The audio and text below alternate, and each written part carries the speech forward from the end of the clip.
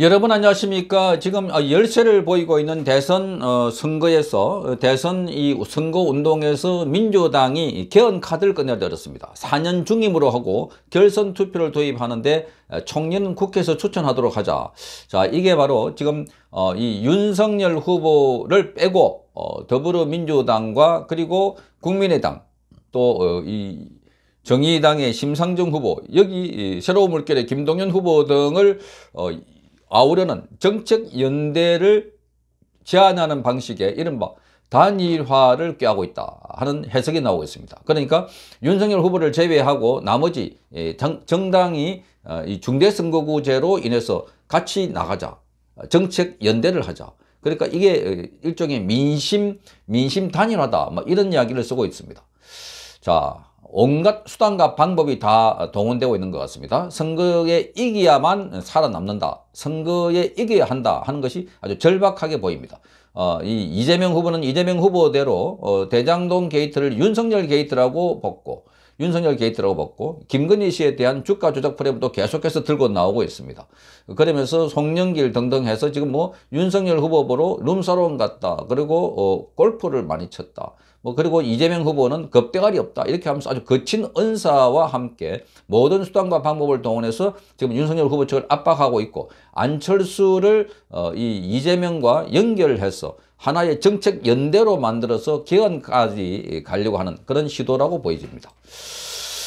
자, 송영길 대표가 국민통합 개헌을 통해서 권력 구조를 민주화하겠다 이렇게 말했습니다. 어, 송영길은 여의도 당사에서 어, 이 국민통합을 위한 정치개혁 제안을 주제로 한 기자회견에서 이같이 밝혔습니다. 송영길은 국민통합을 위한 정치개혁안을 제안한다면서 국민통합정부, 다당제 국민통합국회, 그리고 분권과 어, 협력의 민주적 권력 구조 등 시대적 요구를 담아서 국민통합 정치 개혁안을 마련했다 이렇게 밝히고 있습니다.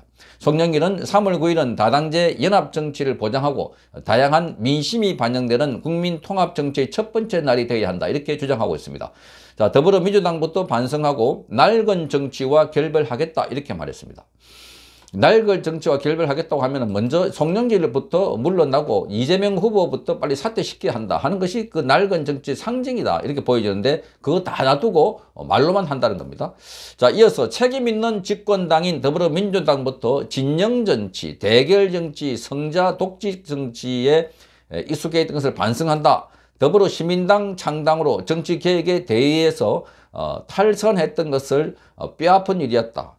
변명의 여지가 없다 이렇게 말했습니다. 그러니까 지금 여기 보면 자 진영 정치, 대결 정치, 승자 독식 정치를 그동안 해왔던 게 바로 더불어민주당이다. 그런데 이걸 하고 있으면서도 우리 안 하겠다라고 하는 것 똑같은 이야기입니다. 그러니까 이게 전부 다 말뿐인 립 서비스가 아닌가.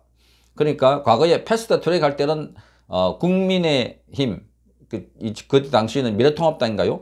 어, 자유한국당을 어, 빼고 나머지 딱 똘똘 뭉쳐갖고 패스트트랙 해놔놓고 나중에 에, 이 정의당 등이 속았다. 왜냐하면 위성정당을 따로 만들었기 때문에. 그래서 이제 어, 이 정의당이 그때부터 무너지기 시작했습니다. 조국에 비판하지도 않고 패스트트랙 거기 에, 몇가 몇 개의 에, 비례 정당을 더 얻으려고 야합했다 하는 비판을 받아왔는데 그때부터 무너졌던 정의당에 대해서 지금 다시 손짓을 내면서 아 우리 그때 반성한다 다시 하자 이런 식입니다. 거기에 안철수까지 집어넣고 김동연을 집어넣어서 자, 이, 이 소수 정당에게도 대 중대 선거구를 하면은 국회의원들이 많이 나올 수 있다. 이렇게 다시 또 어, 살짝 살짝 페인트 모션을 취하고 있는 것 아닌가 이렇게 보여집니다. 자, 송영길은 어, 성자 독식 선거 제도를 근본적으로 개혁해서 실질적인 다당제를 구현하고 어, 국민의 뜻을 받아 받들어야 한다. 이렇게 말하면서 국회의원 선거에서는 위성정당을 방지하는 연동형 비례대표제와 권력별 권력별 비례대표제 그리고 지방선거에서는 3인 이상 중대선거구제 등 비례성을 대폭 강화해서 세대별, 성별, 계층, 지역 등 다양한 민심이 반영되는 선거제도를 만들겠다 이렇게 말했습니다. 어떤 말을 하더라도 못 믿겠다 하는 국민들이 더 많다는 걸 송영길은 알는지 모르겠습니다. 자, 송영길은 또 국민통합개헌으로 권력 구조를 민주화하겠다면서 87년 개정된 헌법은 독재 타도를 비롯한 당대 요구를 반영했지만 40년 가까운 시간이 흐르면서 생긴 변화를 담아내지 못하고 있다. 자, 민생 기본권과 자치 분 권 강화 그리고 권력 구조 민주화를 중심으로 기원을 추진하겠다 이렇게 말했습니다.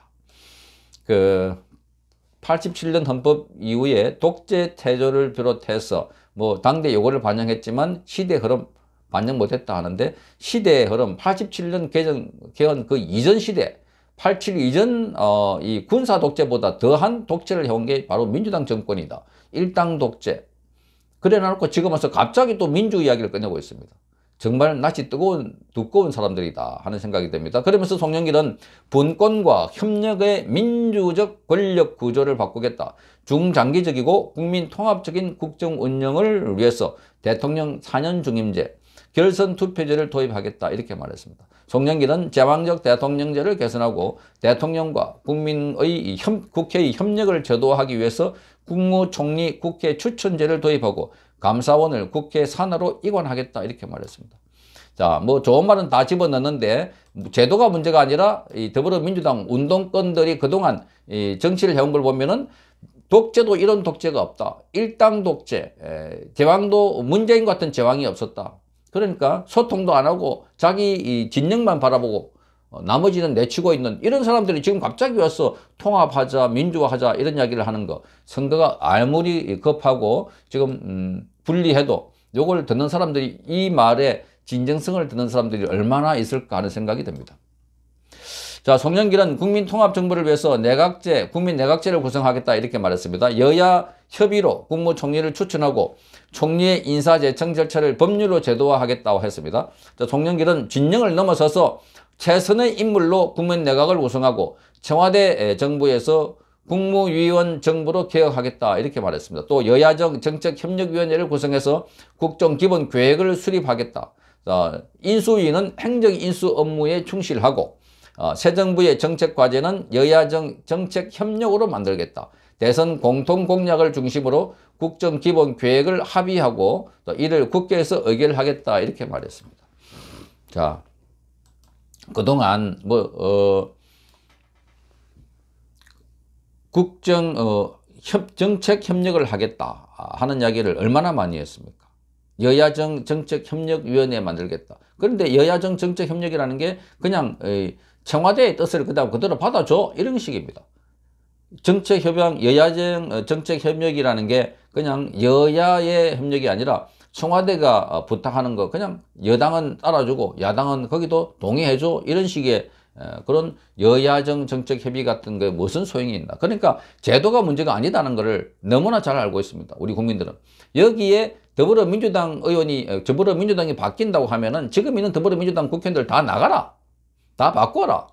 거기 있는 사람들, 자, 그 사람들을 보고 민주니, 공정이니, 정의니, 뭐 자유니, 이거 전부 다 립 서비스라는 걸 국민들이 다 알고 있는 겁니다. 우선 송영길부터, 이재명부터 싹 바꿔라. 그 윤호정부터, 뭐, 김남국, 그게 할 것 없이, 예, 김용민, 뭐, 어, 황우나 최강욱 할 것 없이 거기 있는 사람들 얼마나 많은 국민들에게 지탄을 받아 온 짓을 많이 했나.